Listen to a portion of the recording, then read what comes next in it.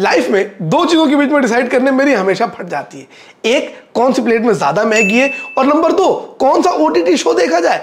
इस हफ़्ते भी कुछ ऐसी दुविधा आ गई गाइस एक तरफ़ था अरशद वारसी का आसुर सीज़न टू और दूसरी तरफ़ था करिश्मा तन्ना का स्कूप मैंने भाई साहब इसको डिसाइड करने के सबसे साइंटिफिक सबसे लॉजिकल सबसे पोटेंट हथियार आजमाया। मैंने बोला, अक्कड़ बक्कड़ बम्बे वो, अस्सी, नब्बे, पूरे सौ सौ में लगा, धागा, सलवार पहन के भागा। और इसके बाद जो मेरी सुई अटकी, वो अटकी स्कूप पर, जो कि मैंने देखा और अगले पाँच पॉइंट में आपको बताऊँगा, मुझे वो शो कैसा लगा और क्यों? Because I am sand and you are watching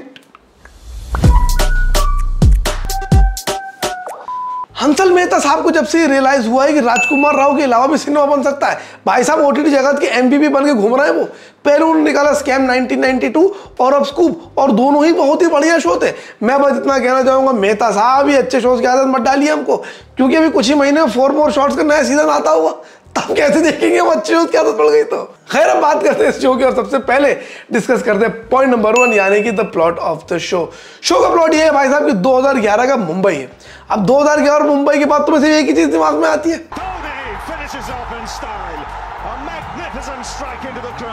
यही तो दिक्कत है गंभीर का 97 नहीं आता था किसी को। तभी तो मूड खराब रहता अगले का सारे समय।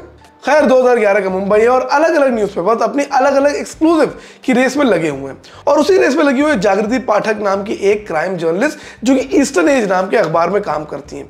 कभी भाई साहब कोई बहुत बड़ी बड़ी स्टोरी ब्रेक कर रही है तो कभी राजन जैसे बड़े डॉन्स का इंटरव्यू ले रही है। और इन सब के चलते वो सात साल में अपने न्यूज़पेपर की डेप्यूटी ब्यूरो चीफ बन जाती है। और जैसा कि हमेशा से होता चला है, जैसे ही कोई औरत सक्सेसफुल होती है, उसके आधे मेल चूतिए कलीग एक ही बात बोलने लगते हैं।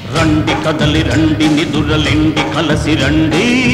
इस पूरे कैरेक्टर असैसिनेशन लोगों के सेक्सुअल एडवांसेस सिंगल मदर होने के स्टिग्मा से लड़ते हुए जागृति आगे बढ़ती है इस रैट रेस में और एक के बाद एक ज़बरदस्त स्टोरीज करके दिखाती है ईस्टर्न एज के लिए। और वहीं पर एक ट्विस्ट आता है, जब एक और क्राइम जर्नलिस्ट यानी कि सेन दादा का मर्डर हो जाता है। उस मर्डर के बाद कैसे जागृति पाठक अपने आप से डील करती है और एक लीगल बैटल में फंस जाती है और उससे निकल कर आती है, इसके ऊपर पूरा का पूरा प्लॉट है। प्लॉट की बात कर थे तो प्लॉट अपने आप में बहुत इंटरेस्टिंग है बिकॉज़ ये एक रियल लाइफ स्टोरी है। मतलब कभी वो एक कोर्टरूम ड्रामा बन जाता है, कभी वो एक फैमिली ड्रामा बन जाता है, कभी जो है वो एक पॉलिटिकल ड्रामा बन जाता है और इसके साथ साथ जो पूरा का पूरा मीडिया और जेंडर का डिस्कोर्स है, वो मुझे काफ़ी अच्छा लगा। So for the plot Tej thunder point two the performances of the show अब बहुत कम ऐसा बोलने को मिलता है, इसलिए मुँह में ऑलरेडी अटपटाहट हो रही है कि भाई साहब, सारी की सारी परफॉर्मेंसेज बढ़िया है इस चीज़ के अंदर। अनडाउटेबली करिश्मा तन्ना ने अपने करियर का बेस्ट काम किया है। She is so very convincing as Jagriti Pathak, और उनको देख के काफ़ी मज़ा आया है। लेकिन भैया, हैरान तुम्हें कुछ और देखकर हुआ। ब्रेडली को धड़ाधड़ छक्के मारने वाले हरमन बवेजा भी इस शो के अंदर। और वो प्ले कर रहे हैं कॉप का कैरेक्टर मैंने कहा, भाई चचा ही किस लाइन में आ रहा है? अब लेकिन भाई साहब, जिस भी लाइन में आए हैं, बहुत ही बेहतरीन परफॉर्मेंस करी हरमन भवेजा ने भी। He looks very convincing as his character and I am very very surprise कि इतना बढ़िया उन्होंने परफॉर्मेंस दी है जिशान अयूब तो है कमाल के एक्टर उन्होंने भी बहुत अच्छी परफॉर्मेंस दी है। लेकिन अब यहाँ पर मैं इंडिविजुअली एक्टर्स के नाम लेने बैठ गया तो शाम तो यही हो जाएगी, उसके बाद मैं जाऊँगा कब बाकी खेल तमाशा करने के लिए?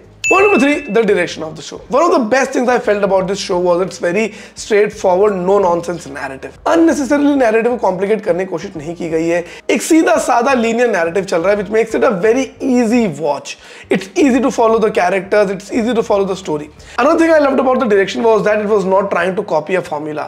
मतलब अक्सर मुझे रियलाइज़ होता है कि मेकर्स वैसी हरकतें करते हैं जैसे आप के में जाकर करते हो पता है भैया साफ़ साफ़ वही ऑर्डर होना है one zinger burger two piece hot and crispy उसके अलावा कोई ट्राई नहीं करना। वैसे इतनी बढ़िया लाइन है इसकी माँ का कि एफ़ वालों को पैसा देना चाहिए था मेरे को। खैर the point was that he hasn't try to replicate the formula of scam 1992 और वैसे ही शो बनाने की कोशिश नहीं करी है। एक अलग नैरेटिव बनाया है, एक बहुत ही स्ट्रेट फॉरवर्ड नैरेटिव बनाया which I thought work very very very well for the show point number four the run time of the show again कुछ कुछ एपिसोड एक एक घंटे के हो जाते हैं और आपको लगता है कि यार शायद कहानी जल्दी थोड़ी आगे बढ़े। कुछ कुछ डिस्कोर्स जो फैमिली के ऊपर है, कुछ कुछ डिस्कोर्स जो इनकी पर्सनल लाइफ के ऊपर है, वो थोड़े से अननेसेसरी लगते हैं। तो बाद में मुझे लगता है कि अगर थोड़ा सा शो को और कंसाइज कर दिया जाता तो शो और इम्पैक्टफुल होता। अब ये मैं अपने आप के बारे में भी कभी कभी सोचता हूँ कि मैं हर बार यही पॉइंट क्यों बोलता हूँ, वो तो इसीलिए भाई साहब कि हमारे अटेंशन स्पैन छोटे हो गए। पंद्रह सेकंड की रील देखते हैं पंद्रह सेकंड का पॉन देखते हैं। उसके अलावा कुछ समझ में नहीं आता हमारे को। Point number five the music of the show scam 1992 में भी म्यूज़िक के ऊपर बहुत अच्छा काम करा गया था और यहाँ पर भी म्यूज़िक के ऊपर काफ़ी अच्छा काम करा गया है। सो so, ओवरऑल मुझे लगता है कि काफ़ी बढ़िया शो बनकर निकल कर आता है और मैं देना चाहूँगा इस शो को four stars out of five इकलौती चीज़ जहाँ मुझे लगता है कि थोड़ा सा रन टाइम कम किया जा सकता था। अदरवाइज़ एक बहुत बढ़िया ड्रामा निकल कर आया है। आप भी देखिए अपने फैमिली को भी दिखाइए। ओवरऑल मेरी तरफ़ से four star out of five बाकी गाइस, अगर बढ़िया लगा तो लाइक कमेंट शेयर सब्सक्राइब कर दो, मज़ा आ जाएगा। नहीं करोगे तो अब तो आदत सी है मुझको।